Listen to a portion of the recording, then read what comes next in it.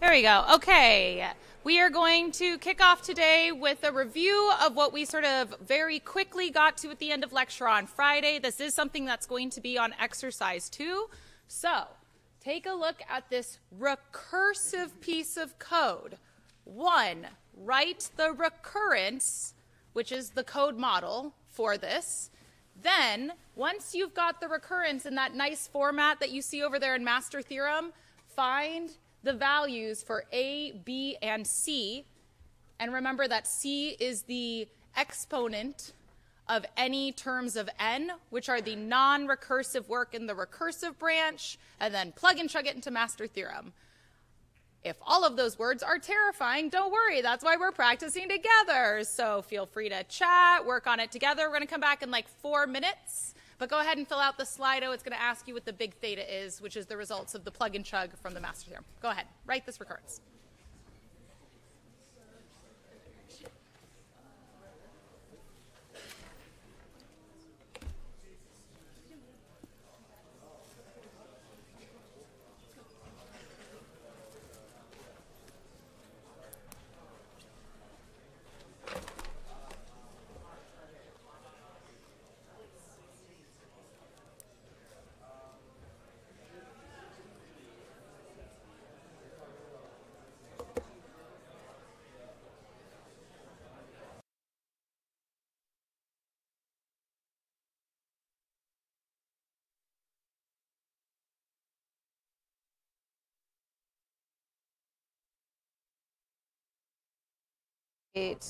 Let's try, let's take a look at what we got for our Slido results. Um, ooh, 115 voters, I like it. Okay, so this is the final stage of the things I asked you to do. So if you didn't get all the way here, it's okay. Remember, I don't grade these on correctness, but let's see what our general responses were. Ooh, okay, I will tell you that theta of n squared is correct. So shout out, I'm glad we got there. Um, but let's talk through it in more detail because, like I said, we are going to ask you to do something exactly like this on your exercises. So this is for you to watch this recording when you're doing those exercises. But let's come back here.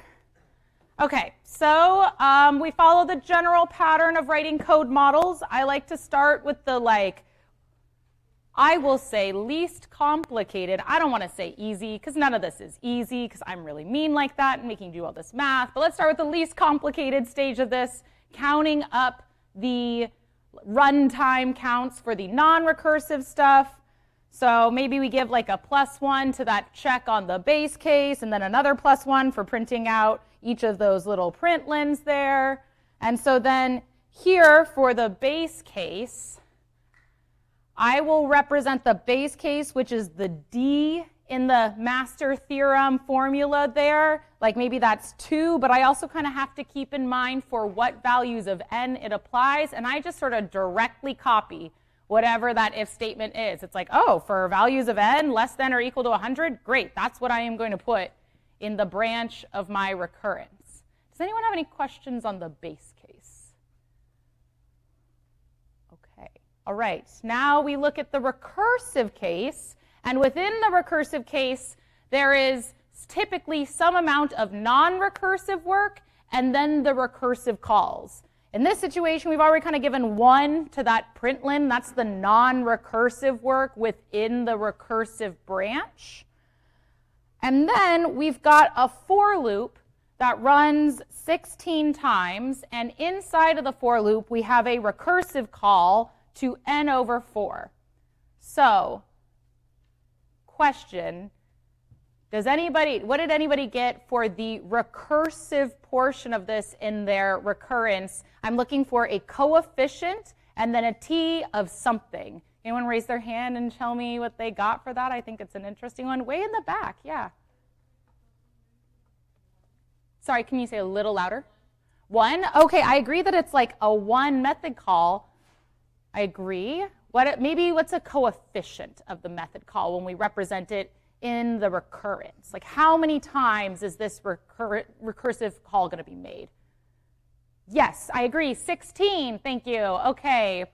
And so if the coefficient is 16, what's in between the parentheses? Like how is n changing each time for this recurrence call? I like it all the way in the back as well.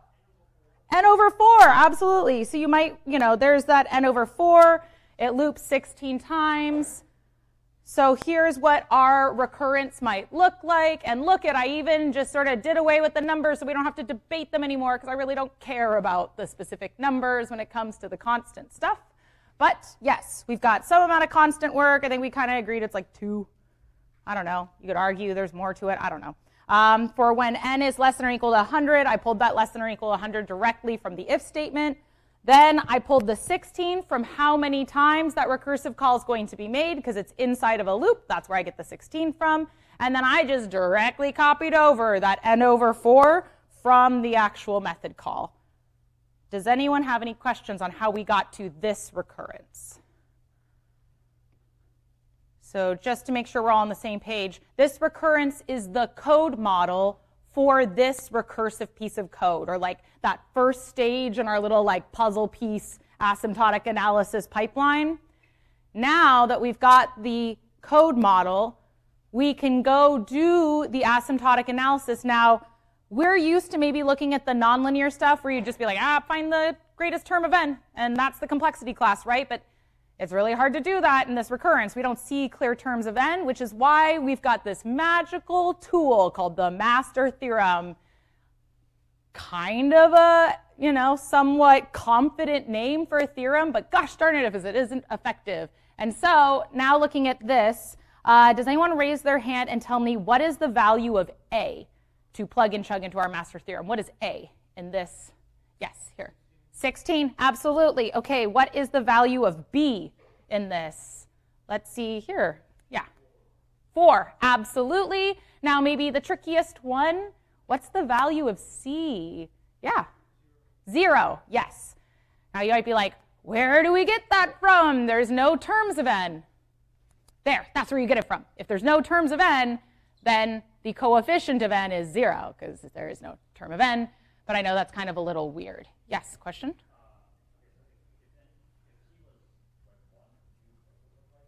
So if C was 1, then what we would have in this branch down here is instead of it saying plus constant work, it would probably say plus n, and then that would be a C of 1. If it said plus n squared, that would be a C of 2. If it said plus n cubed, that would be a C of 3.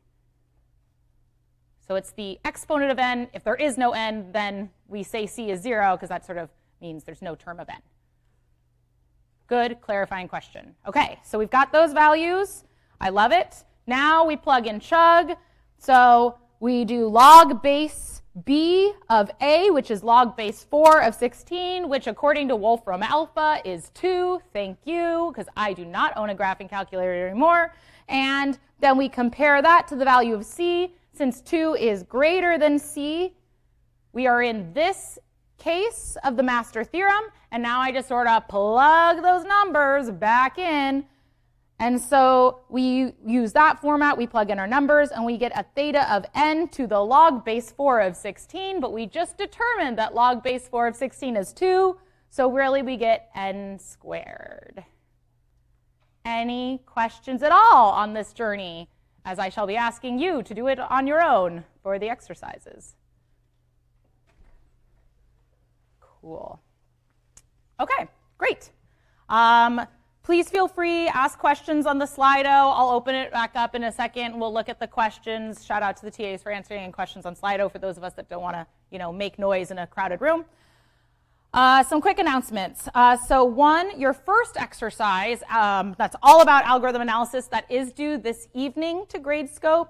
Remember, it is an individual submission, but like you can talk to each other about how to do homework. I actually think magic happens when you explain your process or you hear the process explained to you by someone that isn't using my voice. So I encourage you to do these things in community.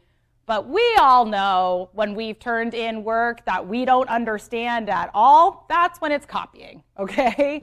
Please turn in work that represents your understanding, but I trust all of you as, of course, wonderful adults to do so.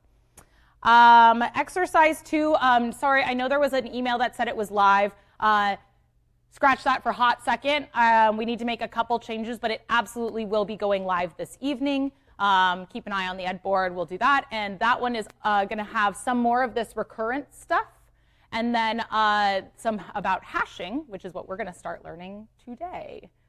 Um, project one is due Wednesday, um, also at 11:59. Pardon me. And project two will be opening on Wednesday. FYI, that one will be a two-week assignment. That one's going to be about hashing, because we're learning hashing this week. Any course administrative questions at this time? Cool. Okay. So Friday we left off um, talking about how to model recursive code. I am going to be very frank with you. I don't have to go through the rest of these slides. It's all stuff that I used to teach a lot more of, but like you've heard me mention, I think I'm continuing to shift away from more of the theory stuff. I still think it's really interesting. I recognize that not all of you are as nerdy as I am, so I'm not really going to go through these slides in detail, but I just wanted to kind of give you a high level touch point on these. But the stuff that I'm going to show you here is other ways to go from a recurrence to the big O, big omega, or big theta. I think one of our friends last Friday asked something along the lines of like, well, what if you have a piece of recursive code and it doesn't fit nicely into that master theorem format? Because master theorem format kind of requires a specific type of looking recurrence, right? And not all recursive code is going to fall into that category. So we do have other ways to do it. The reason I'm telling you, please don't freak out, is because it can get really algebra mathy looking, and I don't want anyone here to be like, oh no, Casey, you promised you weren't going to be mean to us with math, and now I'm going to show you some scary math. It's okay. This math is for fun. Yeah, okay. Um, so let's talk about another recursive pattern. So we talked about the first recursive pattern having the input where the way we get from the top of the recursive stack down to the bottom of the recursive stack is just reducing the input by half every time until essentially we only have one item left to look at. That's our sort of base case. Uh, this is another recursive pattern where we are maintaining the size of n, but we're doing some type of work on it. A classic example of that is the merge sort sorting algorithm in week eight of this course, we're going to go into all of the sorting algorithms in a lot more detail. But the way that merge sort essentially works is I give you a list of unsorted numbers. And if I give you this set of numbers, you look at it and you're like, wow, I don't know how to sort this many numbers. Let me cut it in half and give, I like to think of them as my little recursive robot clones each half, and maybe half of the original is a little easier to sort, but each of those robot recursive calls clones are like, woo, I still don't know how to sort this. And so you break down and you break down and you divide until you get a recursive call where they only have to sort one thing, and a list of one is inherently sorted. That's the logic there. And then all of your little recursive calls, they start to combine their now sorted lists back up together. And so what this means is, is that I am generating recursive calls across all of the values of n, but I'm doing this type of work to sort of divide and then conquer. That's actually the term that we use for this style of algorithm. If this does not make sense to you, like I said, I'm going to go over it in a lot more detail in week eight. But here's the code for it, and here's what the recurrence row would look like. Here's the actual algorithm. You can play with these uh, animations yourself. You can see they sort of split and then as they recombine, they end up more sorted, so on and so forth. But here's what we might represent this as as far as recurrence goes. Our base case is if we have only one item, then we're like, return, you're sorted. So that's where we get this 1 if n is less than or equal to 1 in our recurrence. But down here, you see what we do is we make two separate recursive calls where we pass along each half of the array. So we have a 2 coefficient and an n over 2. So we make two recursive calls, each with half of the input. So we're not actually like getting rid of input, we're just distributing it across more recursive calls. So we're never really eliminating, we're just spreading it out. And then we have this after we sort of do the recursive calls, the step that goes merge. And what it does is if you can kind of see here in this last round, if we were combining this array with the 2 and the 8 and this array with the 22, the 57, and the 91, we kind of do this like, oh, like the two is, you know, the smallest of all those. It goes here. Then comes eight. Great. And so we sort of mush these things back together. But in that mush, i.e., the merge in merge sort, that has to still touch each of the items. So we get a linear runtime for that. And so that's where we get this little n hanging off the back here. Questions about how we got to that recurrence from this pseudocode? My goal is that you could at least sort of represent the base case, find the coefficient for the recursive calls, and make sure you represent the n over whatever in the recursive calls. Yes, question.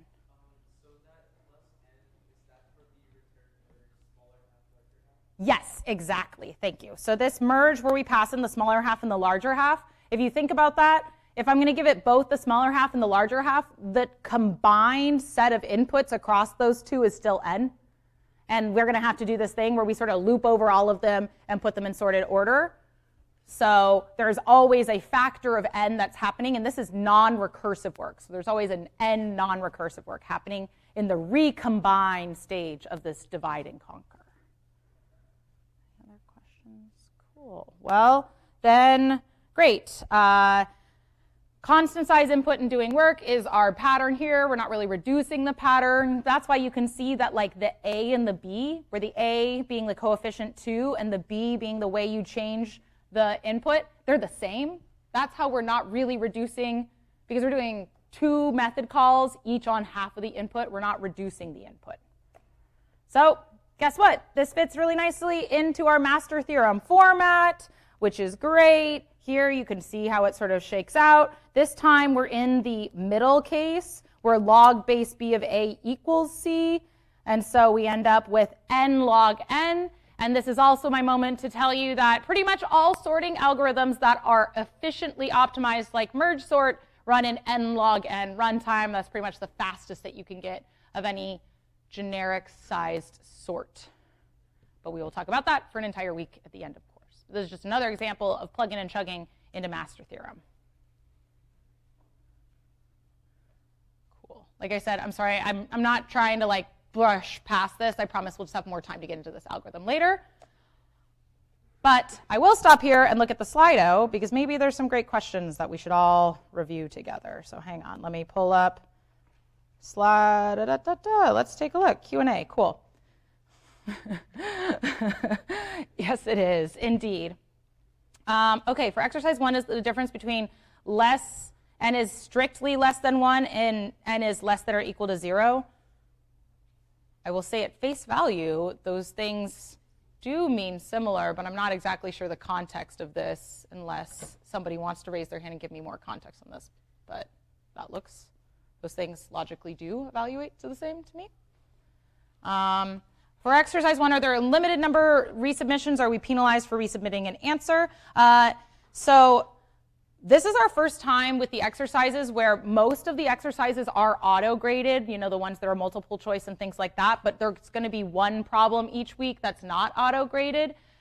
The, the exercises in general do not have a like get the TAs to grade your stuff and then you get to resubmit. This is a sort of one submission and done kind of thing. Um, but you are welcome to resubmit it as many times as you want up until the due date. Now remember, the way that these things work too is that it is due this evening. You can still submit late work up to three days after the due date. And if you're like, Casey, why not longer than that? And it's because the TAs have to do some grading on it. And if I let people turn it in forever, we'd never get back to you, blah, blah, blah, blah. Um, you do not have to inform anyone if you are going to use a late day. You do not have to email me and say, uh, un- unexpected things are happening in my life. Can I get an extension? That is literally what late days are for. If you have extreme situations and you are going to run out of your late days, that's when you email me and we can talk about it or if you are not going to make that turn in by the three days after the original due date, because it will close and you won't be able to submit anymore um, after, let's see, Thursday? Is that right? If it's due Monday night, Tuesday night, Wednesday night, Thursday night? Yes. So this will close. You can't submit anymore after Thursday. We'll grade the latest submission. And where does the n over 2 for the 2t n Come on, go away. Slido. Unhelpful. there we go. Um, where did the n over 2 come from? The n over 2 came from because we were only giving each of the recursive calls half of the array. So half the array, the size over 2, n over 2. Any other questions on anything right now? These are good follow-ups. Yeah. Yeah. Ooh. Yes. I, I stand firmly that technically correct always wins the day in this class. So especially if we mess up, uh, we will always give you the points and penalize ourselves on the other side of that. Um, but thank you, yes. And also I will say, when in doubt, the TAs are too good at the EdSTEM. Man, y'all, they are superheroes. So when in doubt, please post on EdSTEM. You're always welcome to post anonymously if you don't want your name to be attached to your question. Um, you're also able to post privately if you just want, say, just the TAs to see it and nobody else. So that EdSTEM's hopefully helpful for all of you. Okay. Let's do a little more. Let's see. Well, maybe I uh, ignore that. Um, so the rest of these recursive patterns, get out of here. Um, the final one is calculating Fibonacci. Here is the code for calculating Fibonacci. Here is what I'm going to refer to as the call tree of Fibonacci. And what's interesting about this one is Fibonacci generates two recursive calls at each individual level. So we get this sort of exponential growth of recursive calls. So I like to kind of draw it out in a tree like this. Like if we passed in the value 4 initially, it would not enter this base case, and then we would have a uh, two calls to Fibonacci, so on and so forth. Um, I think that's even supposed to be n minus 2. Ignore that. Um, I should fix these slides. But the point of this is that we're not really reducing the input down. We're only minusing 1, so we get this sort of exponential growth. We call this doubling the input almost. Um, and so here is a way where you might have a recurrence for it. There you go. And so this is our first example where you can see because we have that n minus 1, we don't get that nice value of b. This no longer fits our master theorem. So there's different ways to find what we would call the closed form of the recurrence, which is taking it from this recurrent style to more of the like polynomial style we're used to where we can just pull out the term of n. One of the ways to do that is called unrolling, where you literally just take the pattern and like apply it within itself and do a bunch of really gross algebra and then intuit a pattern. For some brains, this is how things make sense. Mine is not one of those brains, but shout out to you. It's that we're getting deep into the personal preferences of sort of approaches here. Um, but unrolling means just take the uh, definition of the recurrence, apply it to itself over and over, and see if you can intuit a pattern. Here, instead, is a different approach. This is what we call the tree method, where we sort of count up how many recursive calls are happening per layer of recursion. And then we have some more plug and chug stuff. This is the math that I was talking about that might look a little scary. Um, but this is another way to find the closed form of a recurrence, where tree method is another way to sort of visualize how the recursive calls are made. You count how many calls, you plug it into the tree method values, and then you do a bunch of summation identities to get to the closed form. I am not going to ask you to do this. But if you are a math person, this is another way to think about how you get to that runtime of recursive calls. And so those are our three recursive patterns. Um, having the input, which runs in sort of that logarithmic runtime, remember? That's nice. Uh, constant size input, but still, you know, doing a little work. For merge sort, we had n log n, and then calculating Fibonacci, we actually ended up with a 2 to the n runtime. So also, um, if it isn't binary search, if it isn't the having the input, or it isn't merge sort, we've got n log n, I can tell you most recursive uh, code is pretty expensive runtime wise. Uh, in fact, I will say right now, because I feel like I should say it, I have never in my life written a professional line of recursive code. Does that mean that you won't write recursive code professionally? No. But does it mean that recursive code is something that you do need to be very conscientious of because of the runtime implications. Yeah, look at how gross Fibonacci is. We would never write Fibonacci this way. We would use something called dynamic programming. We're going to have a whole lecture on that, uh, I think, in week nine of the quarter. Also, these graphs you can see here. Here's the comparison. So that top line, that's 2 to the n. Look at how much faster growing it is than the logarithmic line that almost looks completely flat, even in the small values of n. This is also just to start to help you start to get that gauge of the differences of runtime. Log, log n is a really, a really nice runtime right? Like log n grows at a slower rate than even linear time, so that's great. So if we get to an n log n, that's a pretty solid runtime. We write a lot of production code that probably does run in n log n time, but dear lord, a 2 to the n production time runtime would cause a lot of discussion in the code review before we commit to something like that. Okay, this ends the portion I'm going to talk about analyzing recursive code. Are there any other questions? about recurrences or this stuff before we dive into our new topic? Cool. Okay. Great. So, uh, now let's dive into a whole new topic. I will say that all of this analysis stuff that we've talked about, guess what? We're not going to leave it. You're going to apply this to almost everything we do in this course, but from here on out, we're just doing survey of data structures, baby. I'm going to hit you with them fast. I'm going to hit you with a lot of them. This week is hashing. Next week is trees. We've got graphs for weeks, okay? But this one, you could argue this is the most important one to learn. And in fact, this is such an important one to learn that there's often a joke that if you are asked in an interview a question for which you have no idea what the answer is, Hail Mary it and say the answer is hashing, because chances are it is. All right? so let's do a quick round of review. Uh, if you remember, from here on out, we are going to mostly be talking about the ADT called the dictionary. And the reason that we're so particularly obsessed, obsessed with the dictionary ADT is because it's a really dense way to store information. Remember, it's those key value pairs that are all stored. Now, here is the thing about the dictionary. The dictionary ADT does not require any sort of sequence.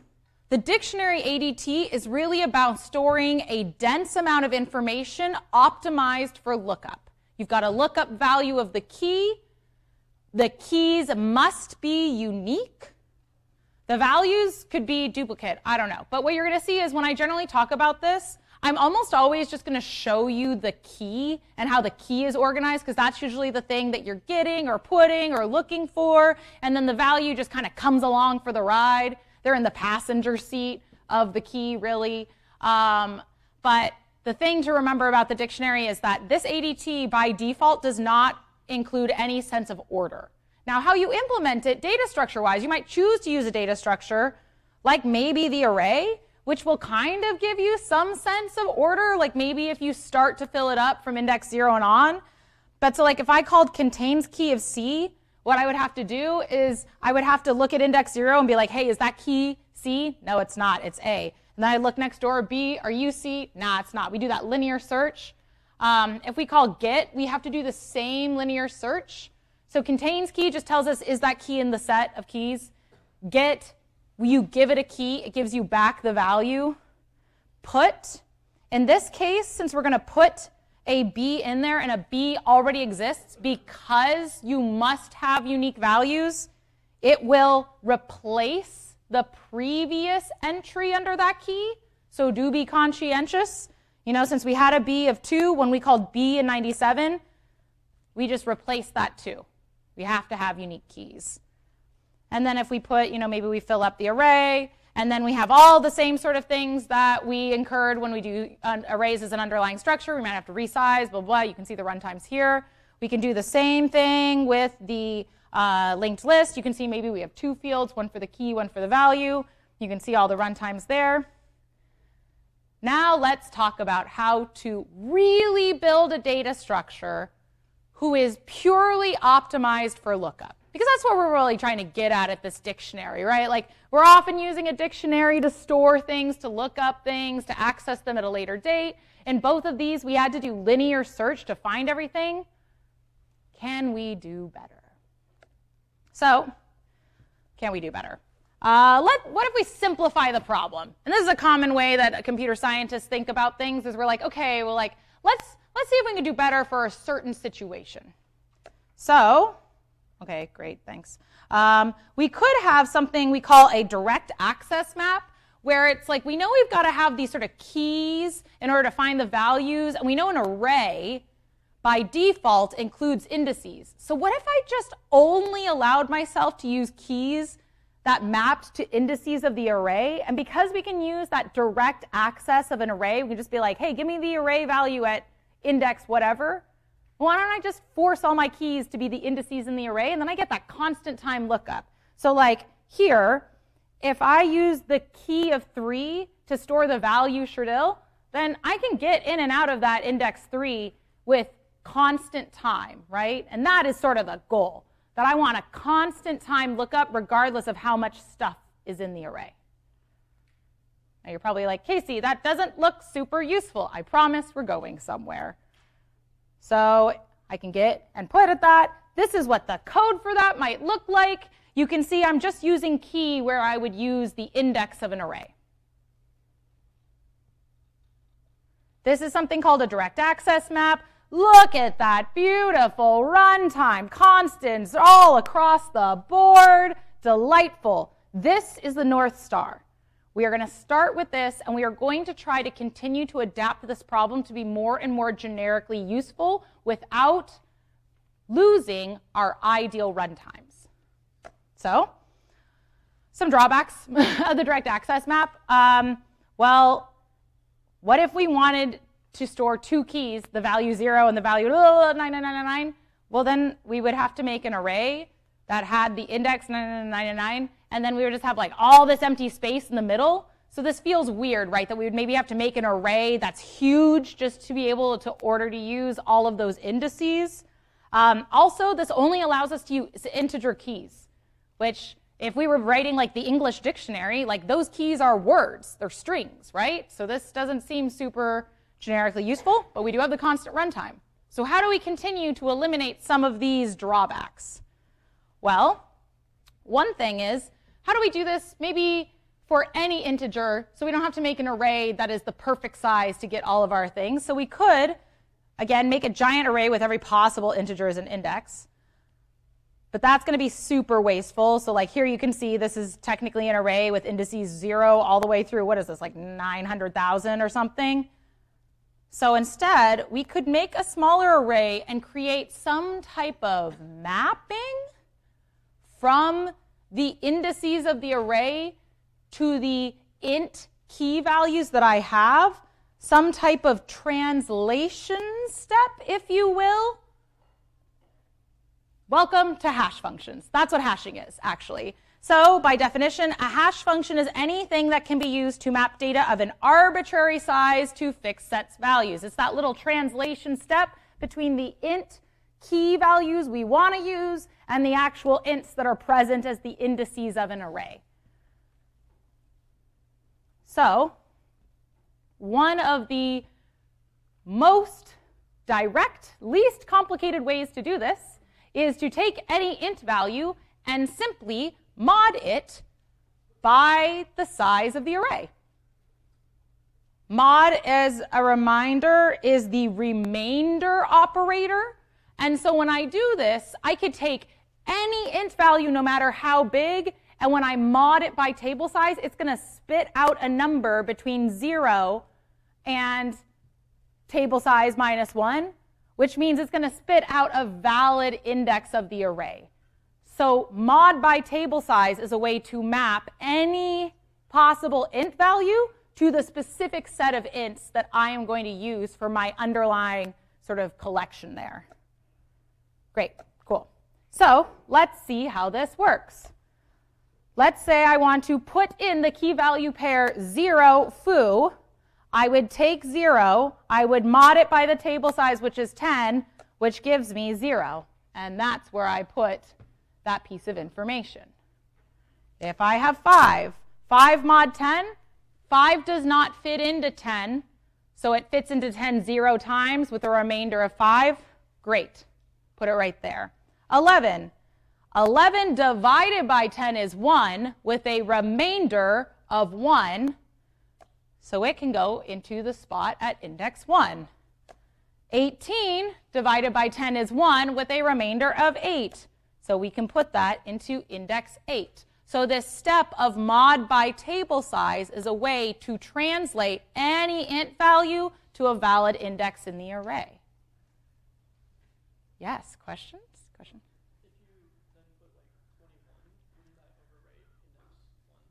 Aha, thank you. The inevitable first question. This looks so great. This would be amazing.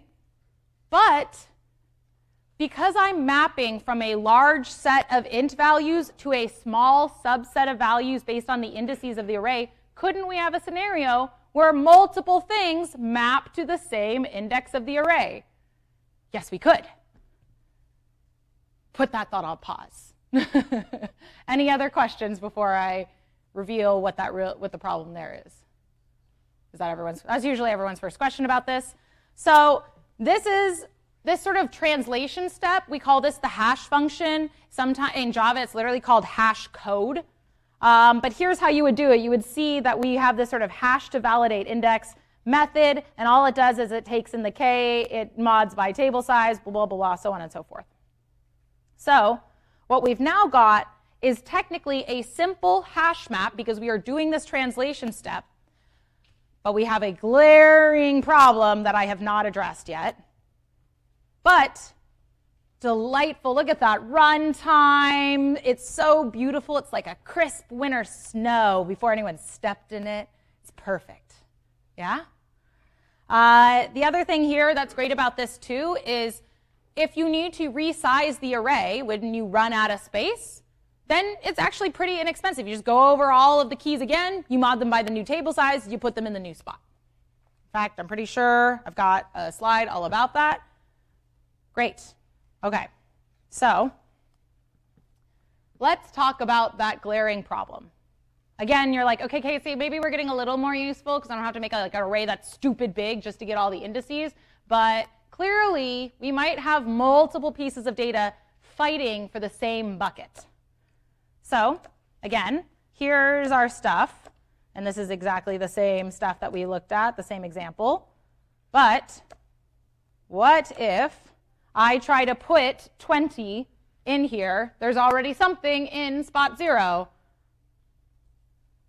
Well, this is what we call a collision. That's the official term. It's when multiple things hash to the same spot in a hash table. And Collisions are the enemy of our perfect runtime. They really mess this whole system up. So there's all of these brilliant researchers out there that have found all of these different ways to handle this inevitable but undesirable situation of the collision. And in fact, we're going to spend the rest of this lecture and all of lecture on Wednesday talking about how to battle the dreaded collision. But other than collisions, we still have a situation where we are getting constant lookup. And so how we handle the collisions is the thing that will decide how far away from our perfect runtime we get. And we will need to make our choices in how we handle the collisions based on knowing that sometimes we might choose collisions over resizing, so on and so forth, but that's where the design of the hash table really comes in. So, um, collision is just when multiple keys translate to the same location. The fewer the collisions, the better the runtime, baby. But we could do two things. One, we could accept that collisions will happen and we must find good ways to handle it. How do we, you know, resolve that bit of conflict? Also, can we design our functions that generate which index of the array you're supposed to go to to minimize the amount of collisions? And we have to do both of these things. We're going to do our best to design the hash table to cause the fewest amount of collisions, but we will also find ways to handle them when they inevitably arise. So, uh, there's two general ways of handling hash collisions. The first of which is something called separate chaining, and I absolutely love it because it's so delightfully obvious. What if you just let multiple things live at the same index? That's it. That's what separate chaining is. It's like you just sort of make a linked list for all the things that collide into the same box. Uh, so then you have a hash table that's really a collection of buckets or really a collection of linked lists. So now we have an array of linked lists, and that is actually the most common implementation of a hash table. It is what I'm going to be asking you to program for P2.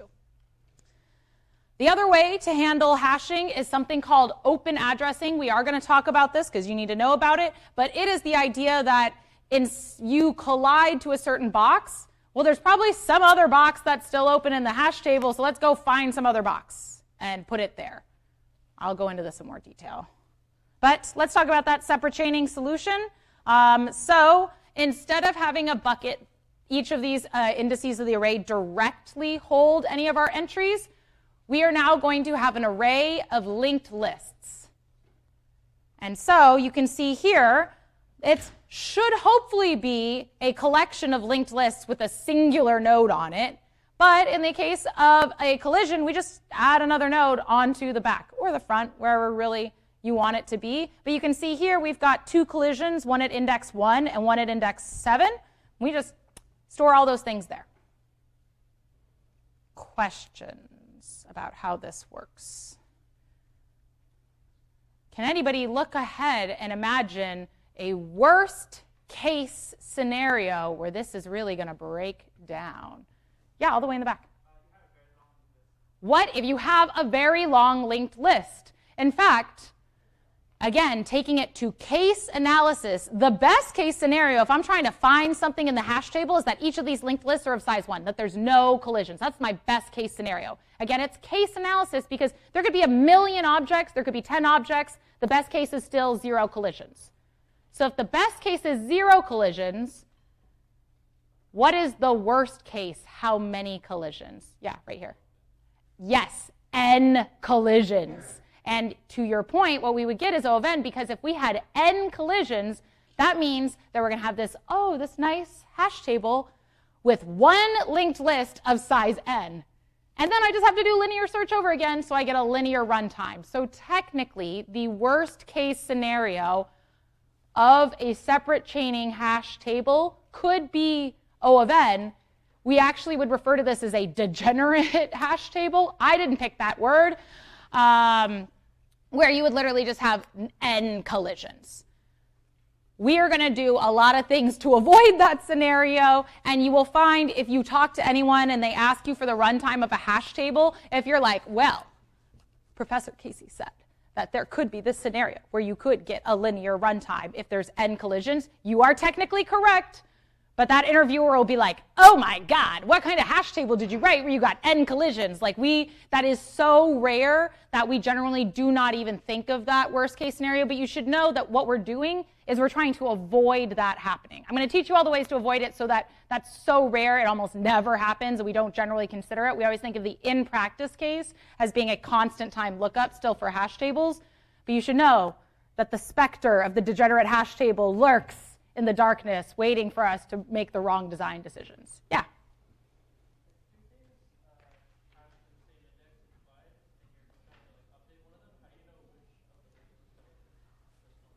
So what you would probably have is you still, like, I know I'm kind of, again, I'm only showing you a singular element here, but what I'm showing you are the keys. And so you probably actually have key value pairs. And so you would just loop over them, find the one with the key you're looking for, replace its value. Great question. I'm going to leave it there for today. I'll stick around and answer any questions. Keep your eyes out. We will be posting exercise two later today. Come back on Wednesday. We're going to talk more about collisions. Yeah.